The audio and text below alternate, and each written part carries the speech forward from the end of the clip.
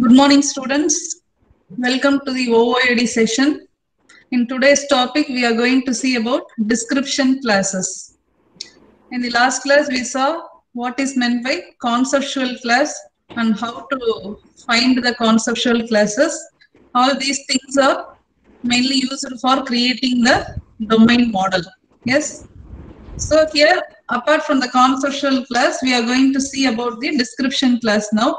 Let's have a quick recap of yesterday's session. So yesterday we saw conceptual class. It is nothing but an idea or a thing. Just we are representing a class with some concept. Uh, then there are three perspectives in drawing the class diagram, conceptual perspective, specification and implementation perspective. The specification perspective only we are going to see today. That specification perspective can be uh, mentioned in terms of the description class because we are going to describe something for the particular diagram, describing the uh, components, describing the interfaces, etc. Okay. Then we saw the domain model with real world conceptual class, how to draw a domain model, what are the things to be avoided. Then the three steps for finding the, for creating a domain model. First thing is to find the conceptual class. Then you draw them as classes in the UML class diagram Finally, you have to add associations and attributes. These are the three steps for creating the domain model. In that, yesterday we saw uh, how to find the conceptual classes. There are two strategies used to find the conceptual class or to identify the conceptual classes. First thing is using a category list, conceptual class category list. Then identifying the noun phrases. Got it? Yesterday I told about the case study POS the next gen POS system, point of sale. The next gen means the next generation POS system. It was once framed, but this is the case study we are using often in our syllabus. This is the important case study that is given in a textbook also. Another thing, we are going to see one more case study today, Monopoly game. Yes. So what are the steps that we are doing while entering a uh, departmental store for buying items. Finally, after paying the item, how you are uh, that is how you are exiting the store. What are the process that are taken in between? All those things we have discussed yesterday. Uh, in that, this thing is mainly concentrating on what the main success scenario. That means the default scenario that normally takes place. But apart from the main success scenario, if something is not there, if the usual thing is not happening means, then we have to go with what? Uh, alternate scenario. Okay, alternate. There are two scenarios, main success and alternate scenario. If the particular thing which I wish to buy, if it is not there means what? Either I can drop out, I can leave the shop or I can go with some other item. So these are the alternate scenarios possible. Okay. Suppose you are going to going to the library to fetch some book for OOAD. If the textbook is not there means what else you can prefer? You can go for uh, reference books, okay, or any other books related to OOAD. That is your alternate scenario. But you aim for getting the textbook in the library. That is the main success scenario. Like this, you have to correlate for all the uh, domains and for all the applications that are given. Okay. So this is the extension I have told yesterday and the customer paying amount and uh, system handling the payment. The payment can be made either by cash or credit card or uh, check. Suppose if it is a large uh, supply means so we can go with check like that. So these are the extensions that can be made. Okay. Now we are going to see about the conceptual classes and then the description class. Okay. So for a point of sale, for a point of sale system, we are going to have a set of classes. That thing only I have mentioned here. Because yesterday we have dealt in detail about the POS, how the process sale takes place in a POS. Don't worry about the POS, it's not a big word. Just a normal scenario that takes place while buying uh, goods or items from a particular shop okay so this is the simplified scenario of the process sale because you first you have to identify the conceptual classes by means of identifying the noun phrases. What are the nouns that are used? Okay. A very important thing for a point of sale. For a sale is what? Customer. We are important. Without customer, a shop will not run effectively. Okay. Similarly, I went to the shop and I I have purchased the projects pro, products. So what else I have to do? I have to pay the cash. So cashier is important. Okay. So these are the persons related to the point of sale. I have mentioned all these things, but I am telling in uh, not in the order. Just listen. So customer and cashier are the main persons involved in the POS. They are the noun phrases. Okay. Apart from the names of the persons, we can also include what objects or the things. Yes. So that is nothing but it's given in the left side. Item. Which which one I am going to buy? Some items some groceries, vegetables or stationery items, anything. Yes, so that is item. Where they are stored, they are stored in the particular store. Yesterday I listed all the category list. Either uh, your noun phrase can be what? Name of the object or the place or a person or a thing or some uh, store, database layer related things, etc. So these things only we are going to identify as the conceptual classes. In particular, they can be called as what? Candidate conceptual classes. So now let, let us list out one by one. Register. Register is important for POS. For a POS because I need some register. It has to have the details of all the uh, stock items that were sold so far and all the stock items that are present hereafter. So what is the um, uh, June month uh, sale? What is the July month sale? August, everything will be present in the register. Yes. Then item. Item means item uh, number, item name, how much quantity is there, what is the price, etc. Then you are having store, sale. A sale takes place. Okay. Then you are making some payment and then product catalog this product catalog is nothing but it holds the list of products that are present in the particular shop. It is different from the next one, product specification. This only we are going to see today. Product specification means what? It tells specifically about the particular product in detail. That is called as your description class. By the name itself, you can get some meaning. A description class is nothing but a class which describes something which tells the details about some other pro, some product or some other class that is called as the product class. Conceptual class means what? A class with concept. Yes it, it can be either a real world thing an object or a person anything okay? Then you are having what? Sales line item. It is considered as one class. Then cashier customer manager apart from this you can also include many persons shopkeeper scavenger, anybody, but all are involved in this particular project. So they are called as the stakeholders, the persons who are involved either directly or indirectly in a particular project, they are the stakeholders. So you are studying in the college, okay, we are teaching for you. Apart from that, who are all involved? Apart from faculty and students, parents are the stakeholders, okay, management is the stakeholder and then some organizations which are in tie-up with the college, they are our stakeholders or alumni. Yes, alumni students are the stakeholders. Those who are related to the college, either directly or indirectly. All the alumni are related indirectly because they are giving some contribution to the college. They are related indirectly. Similarly, your parents, your parents are related indirectly, but we are direct, we are directly related. Staff, students, admin like that. We people are directly related okay? So they are the stakeholders. I want to mention the term stakeholders so only. I gave that example. Similarly for the pos who are the stakeholders? Customer manager cashier. Apart from that who else can be the stakeholders? Retailers retail persons suppliers those who are uh, supplying the uh, products in a large level suppliers. Then what? Some marketing people marketing agents will be there marketing managers like that. So all are the stakeholders. Okay? Uh, apart from the stakeholders you have to mention these things also as the conceptual class. That is the sale payment product catalog etc so these are the classes major classes that are used in the process sale you can also add one or two classes if you wish. Okay? This is the simplified scenario of the process sale. Each and every word present here, the box is treated as a separate class. Okay. So you have to mention it as a separate class. This is called as the initial domain model. Just I have mentioned here orally. Here you are going to represent it as a domain model. In a domain model means what? It is for visualizing the classes. It is a visual representation of the conceptual class. Yes, so this is the initial domain model. Just I have mentioned the classes that are used. I have mentioned only the class name.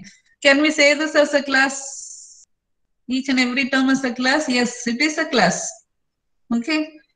So it is having the class name. Initially, it is having the class name.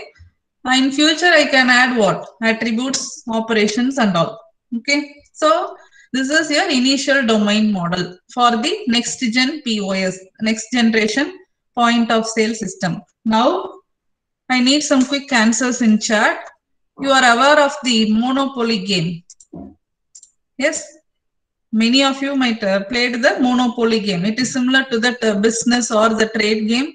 Uh, four, four to six players, minimum six players can play the game. Now you have to throw the dice. Then you are having some money. A bank will be there. Got it? Try to recollect that game. Why means this is also important case study in our OOAD. Monopoly game. Okay.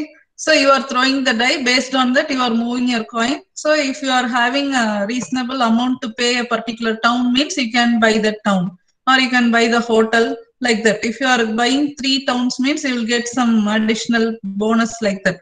Similar to the business or the trade that we are playing. It is also an interesting game, Monopoly game. If you are not aware of it, you can Google it later. Okay.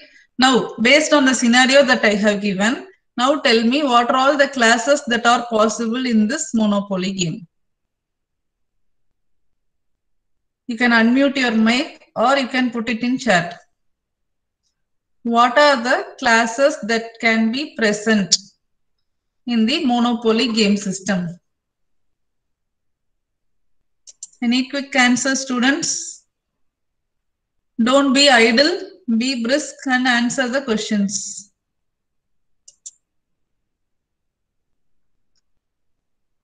Anybody there? Shubham Trivedi. You can put it in chat. Muthu Kumaran. Jagan. Akshaya. Just I am randomly telling the names. Don't take it seriously. But you have to answer. Akshaya, are you there? Bhavani.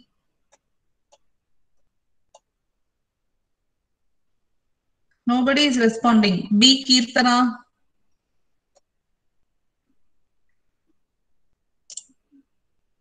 I'm asking what are the classes that can be possible for a monopoly game system?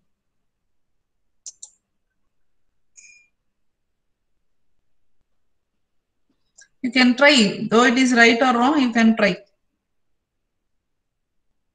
Places, Vinisha, player, good place, we can't mention it in plural. A place can be a, a class player. Yes, good. Rakesh told dice, bank. Very good. So just we are relating the game. Kishore Kumar telling town players. Yes, all can be treated as cities, towns. All are related only. In a description class, we can give it separately. In general, we can give it in a single way. Okay, simple way. Yes. Okay, I got some answers from you. Good. So let's see that monopoly game. So these are the candidate classes. Candidate classes means important classes that play the major role in a particular domain, in a particular application. So a player, without player, I can't play a monopoly game. Yes, player is needed. Piece, piece means that uh, in that board, I mean, not the die or the board, that, that board has squares that can be called as your piece, then die piece means that we are having each player is having the piece you have to move that piece that one okay that is the piece. Then die. You have to throw the die. Without the die also we can't play that game. In that board only we are playing the game. The board contains what? Squares. That squares can also be treated as the conceptual class because in which square you are going to get a particular benefit or bonus. In that particular square can be mentioned as a hotel worth 10,000 rupees, like that. In dollars, or it may be in any amount. Okay. So all these can be listed as the candidate classes. Okay, for a monopoly game. Uh, again and again telling these two case studies are uh, repeatedly present in your textbook in the syllabus. The next gen POS system and the monopoly game. Questions may be asked at any uh, concept with respect to these two case studies. Apart from that, you may also be given any other general case study also. Okay, but these are the two case studies that are taken for the syllabus. Yes, you may be asked to create a domain model for monopoly game like that.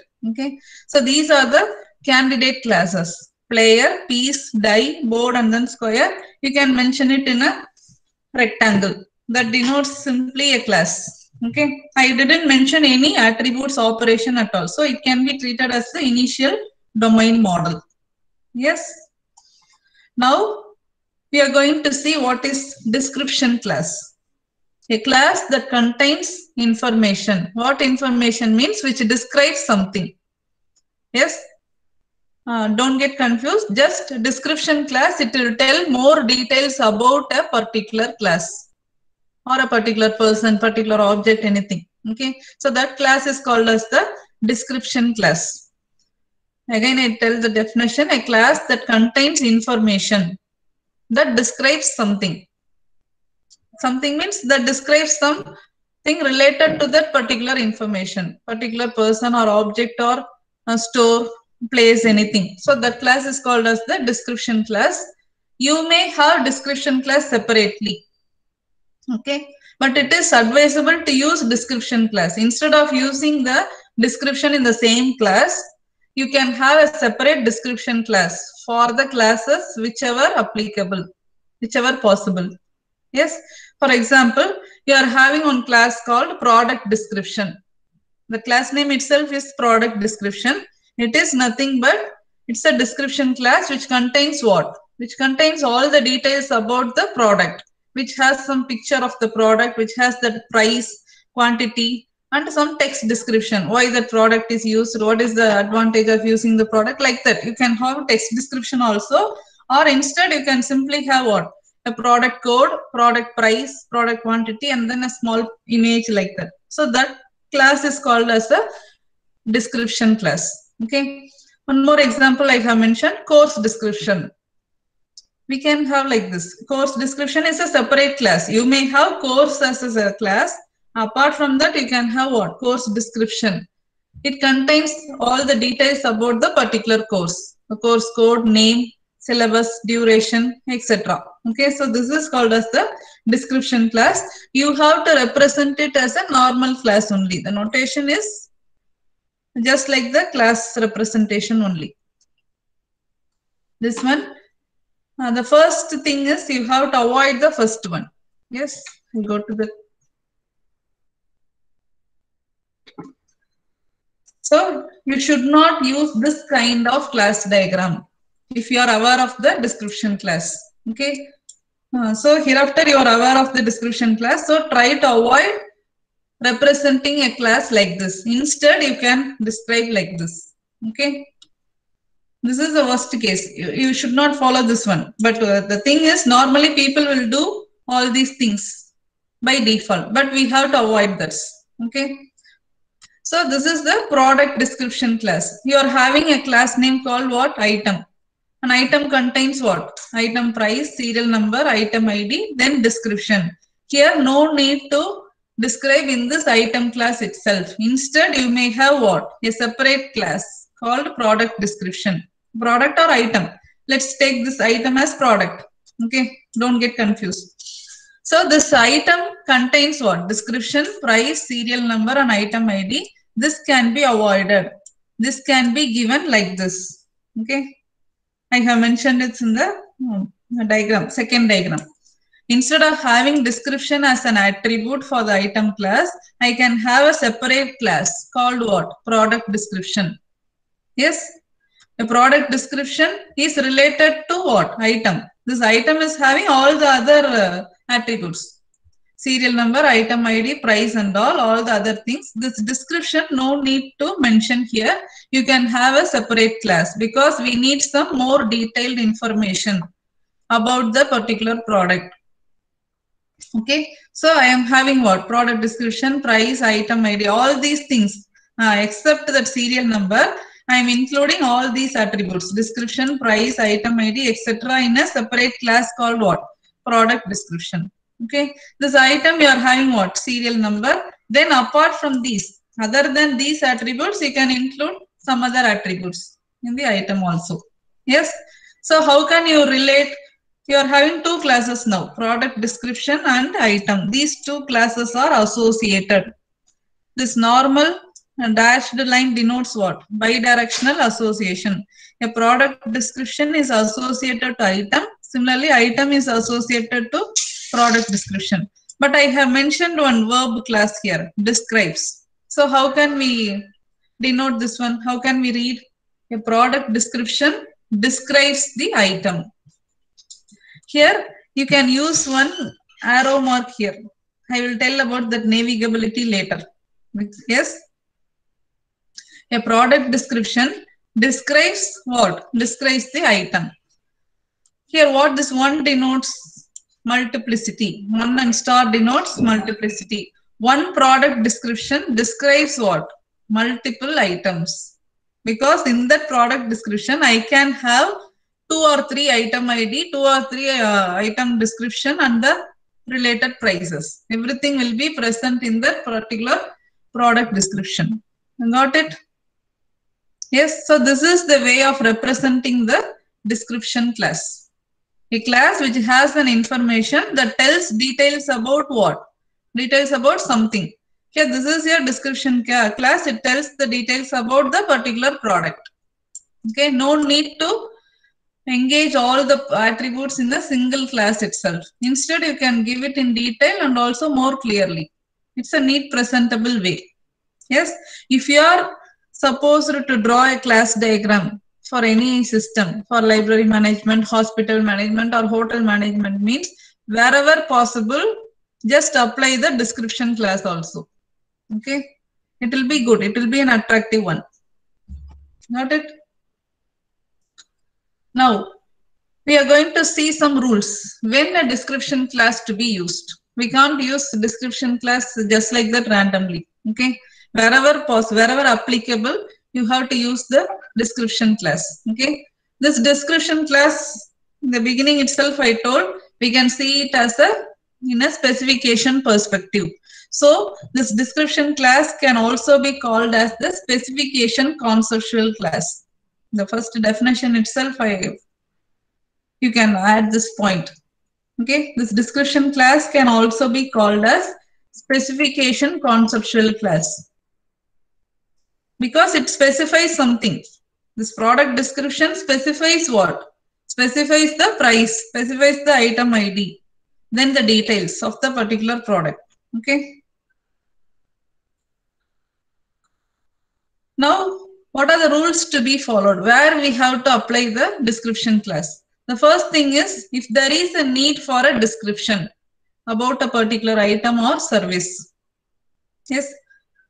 In that situation, you can give the description class. It is independent of the current existence of any examples. That is, it is not related to the any examples that are present. It is applicable to all the items that are present that item may be present or may not be present at that particular time in the particular place but you are having some description common description about the item so in that situation you are using the your uh, you can have the description class then the second one is you can add a description class when you want to delete the instance of things they describe the results okay suppose though you are deleting the instances there should not be any loss of information. Yes, at that situation, you have to maintain a description class. I'll tell the example after completing the third point. Third one, it reduces redundant or duplicate information. Yes, no information to be present again and again in the same class diagram. I can have it in a separate diagram that is represented as a description class. Okay. Now I'll tell on a simple example. Assume that you are going to buy a pen. Buy the Reynolds pen, a normal example. So you went to the shop. Uh, the, in the shop, there are only 10 Reynolds pens. Reynolds pen. You want to buy all the 10 pens. Yes. So you bought all the 10 pens and you came back. Suppose another person. If I am going to buy the Reynolds pen in the particular shop, it is not there now currently because totally only 10 pens were there that you have bought already. I went to the shop to buy the pen and they searched the database, it's not there. Okay.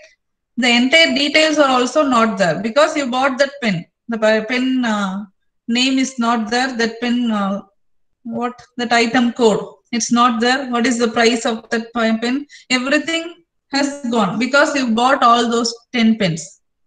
For a normal situation, I'm telling. So though I want to buy a Reynolds pen, it's not there. Okay, it's not a problem, but there is no database at all about that Reynolds pen. How much uh, cost it was? Okay, what was the color of the pen? What's the type, etc. Yes, because you have bought all the pens. So to avoid this situation, you have to maintain a database. Though you are having the Reynolds pen now in your shop, okay, though you are having or not, you must have some database about the particular pen because in future it can be used you can suppose uh, the next day the supplier is giving some hundreds of reynolds pens okay at that time you should not again feed the database you should not again feed the item id quantity like that you must have a catalog or a description having all the details about the particular pen that only i have mentioned in the second place uh, second point deleting instance of things they describe results in a loss of information that needs to be maintained. We have to maintain that particular information, though we are deleting the instances. And the 10 Reynolds pen is the instance. Yes, that pen is your common thing. You have to maintain the database information for the particular Reynolds pen. Okay, so at this situation, you are using the description class. So there is no need for duplicate information. It will avoid the redundant information. Got it? This is a simple example. How and where to use your description class. Let's see this example. And there we saw what? That uh, item ID and then product description. Similarly, there are two ways of, you can mention domain model in your own way, but there are some rules to be followed. There are some ethics to be followed because uh, in data structures we have studied there are three complexities worst case average case and then best case always we have to aim for what best case or at least average case. You should you should avoid the worst case. So same thing. Here you have to avoid the worst representation of class diagrams. The first one is also a representation of a class diagram. Yes? Sorry. So this is also a class diagram, but this is a somewhat worse representation because you are having two classes, flight and airport. A flight having what? Flight date, flight number and flight time. Many flights fly to one airport. Okay. I don't know which flight comes exactly at 10 a.m. Which flight departs from the particular airport at uh, 1 p.m. I don't know from this particular thing. Okay. Generally, I'm having two classes, flight with date, number and time. Many flights. I'm having information for many flights. They fly to a particular airport. The airport is having the attribute what? Airport name. Airport name, place, etc. You can have. Okay. But you can avoid this representation.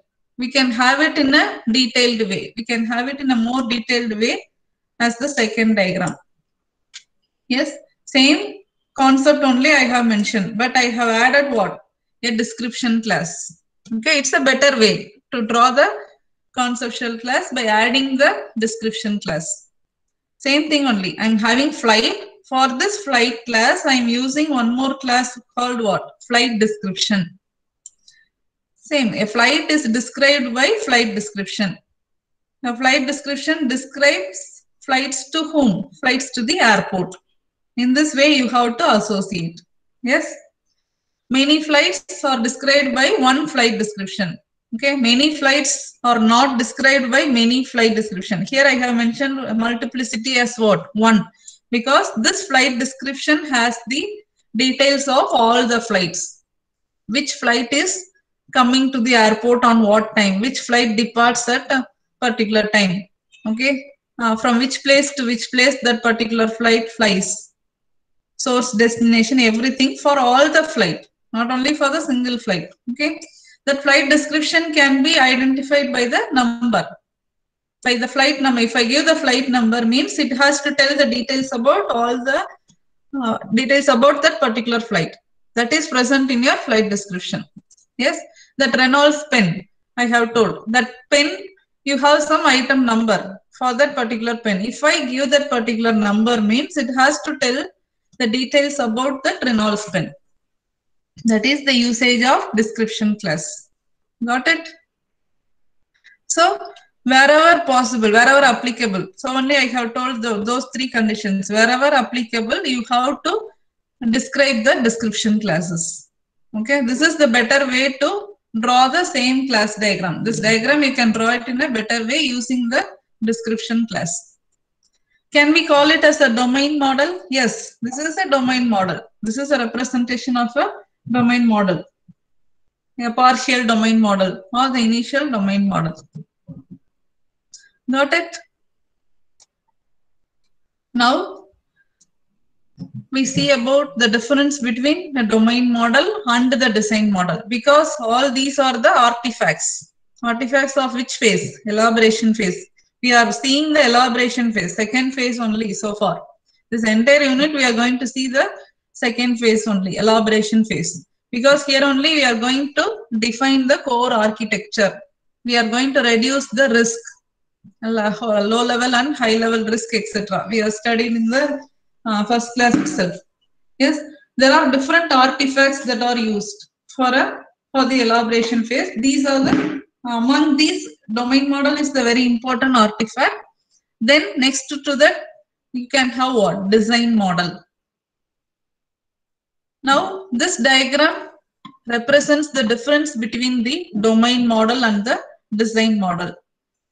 You can have a look at the diagram, note the difference. What extra things you are having in design model? What are the things that are missing in the domain model first? I'm not having what? Any operations or methods. I have only the class name and what? And the attributes in the domain model Here's this one in this payment i'm having two classes payment class and then sale class one payment is made for one sale i'm going to pay for a single purchase. So one payment pays for one sale. So payment has the attribute what? Amount. How much amount I have to pay. That can be the attribute. For the sale what? On what date, what time the sale occurs. These can be the attributes. But this only I have mentioned in the domain model. Because it tells the real world concept. Just we are uh, visualizing the real world concept. That is your domain model. I didn't mention using these things, what else I'm going to do, in future with this payment, with this sale and all, what else I'm going to do. I didn't mention so far. So this is your domain model. UP means unified process. Unified process domain model. Now come to the second diagram, UP design model. With this amount, using the payment class, what can I do? I can get balance. Yes i can get the balance. I can uh, uh, what? I can get bonus. Like that. So get balance is the operation or the method that happens using the attributes. Its return type is what? Money. You have to give the return type also for attributes you have to give the data types yes similarly for the sale for the sale i have mentioned what date and time you have to mention the return types in a design model but in a domain model, you can simply represent it as a real world thing. What is sale? So what are the attributes that are used? Assume that you are having student as a class. What are the attributes I'm going to use? Roll number, name, age. That's all. Roll number should be of type integer. Name should be uh, a string having maximum 30 characters. I didn't mention that all these things. No need to mention in the domain model. But in the design model, you have to mention all these things. Yes, in the design model, the attributes must have what? Must have the data type. You have to specify the data types for these attributes and also you have to mention the operations or the methods. Yes. So in the sale, what I'm going to do, I'm finally calculating the total, get total of type what? Money. Yes. So uh, first one, domain model is used for visualizing the real world concept. But design model is used for visualizing what? The software components. So this is the difference between the domain model and the design model. One more difference you can see here. I have mentioned unidirectional association here. But in general, I have mentioned just an association, just a connection between two classes in the domain model. To be specific, you have to give the type of association also in the design model. So this is your unidirectional association. That is payment pays for sale, not the sale pays for payment. I can't tell in the reverse order because this is a unidirectional association. Payment is associated to sale using the pays for verb class. Yes. And uh, you can have a rough look at it. I want to show another small video representing the illustrating the domain model. What is the use of domain model? In that video, they have given a case study called retail bank. For a retail bank, what are the classes that are used? Though I am putting PPT, though I am uh, teaching orally, we, we need to listen some videos. Then only it will easily get into your mind. Okay. So just uh, have a quick look at this table. Anything you are able to guess so left one is the discipline or the domain. First one is business modeling, then what? Requirements, then design phase, then implementation, sorry, project management, testing and environment. These are the artifacts. Some seven to eight artifacts we have seen. Software development plan, test model, development case, etc. Yes, so these are the artifacts. I'll explain this slide in the next class. Just have a look at it. Here you are having four phases of UP. Inception phase, I1. Because you are having only one iteration. Elaboration phase, E1 to EN. You may have different iterations. Similarly, construction phase, C1 to CN. Last one is your transition phase to T1, T2. This S, smallest stands for start. That means where, at which phase these artifacts have been started. Yes, a use case model start at the inception phase, but the domain model started at what? Elaboration phase. Now only we are seeing the domain model. Okay. Then R stands for refine. I can have some refinement. I can have some enhancements during the different iterations. So that is given the, as denoted as R. S stands for start, R stands for refine. We'll see that in the next class. Now let's have a quick look at a video. Uh, listen the video how the domain model is represented what are the artifacts that are used there is one term called uh, design thinking. You may be aware of it. A very popular word nowadays. You can google it further. I will also explain in the future classes. How design thinking is made. Have a look at it. In this section we're going to be talking about domain modeling. If you remember the design thinking mental model that we saw previously, the domain model is one of the other techniques that we as software engineers have, which will give us a very, very good information about what is the problem that we're actually trying to solve. So along with use case diagram, this is the other technique that forms the tactical portion of understanding the what of a given problem statement. Now, unfortunately, domain model is not part of the UML specification or one of the UML diagrams. And maybe that's one of the reasons why it is not used that often. But from my perspective, from what I have seen, domain model is one of the most easiest and one of the best ways of not only understanding a given domain, but it's also one of the most effective ways of communicating that particular thinking about the entire business problem with anybody else. And I hence feel that learning how to do domain modeling is an extremely important skill. So let's try and understand how to go about, you know, arriving at a domain model. Before we look at the definition of a domain model, let's see an example of a domain model. In this slide, I have given a small portion of the retail banking domain model. Now, irrespective of where we are currently staying or what country or what state, we can all go to a bank that's closest to us and all of us can actually open an account. Now, the type of account might vary slightly in terms of the features that they offer, but I guess most banks do offer some kind of a saving account or a current account or checking account. Once we have actually opened the account, we can do different kinds of transactions against it, be crediting some money to the account or some withdrawals or transfer of money from one account to the other or checking of balance. All these are considered as transactions against that particular account. And we can also get statements, be it quarterly or monthly or weekly. Now, how is it possible that even though we went to different banks in different, uh, different states and different countries, yet we seem to understand the problem in the same context or in the same way? The main reason for that is the fact that the entities that are represented on this particular slide are called as domain entities. So what is a domain entity? Domain entities are very, very high level conceptual entity that defines or that exists in a particular problem space. And hence, it really does not matter which bank you and I went to, as long as they're all dealing with the same industry or the same kind of business domain, which is retail banking, these entities still convey the exact same meaning and really do not depend on a particular client that belongs to this particular space. That's the reason why the domain entities themselves are actually also called as invariants. Now, what is an invariant? Invariant is something that does not change often or the rate of change is extremely slow. So as long as we're all looking at a banking, retail banking space, the concept of an account or the concept of a transaction or a statement in a bank really does not change.